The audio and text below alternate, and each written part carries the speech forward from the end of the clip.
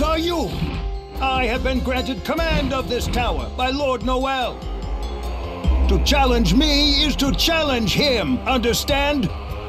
You bear your fangs at Lord Noel himself. Huh?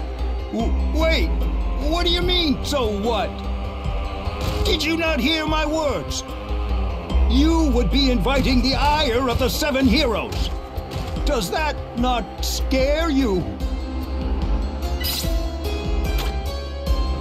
Hold on a moment. And now, no need to draw your weapons so quickly.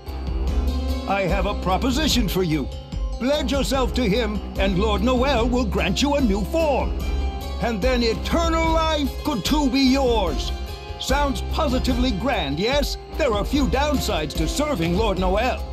Unlike if you continue to mingle with those pathetic humans. So fleeting and frail. Like that ninny of an emperor, twould be too easy to knock that crown off. And their head along with it. Ha ha!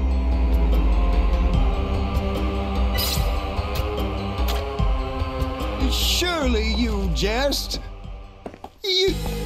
You're not really the Emperor, are you?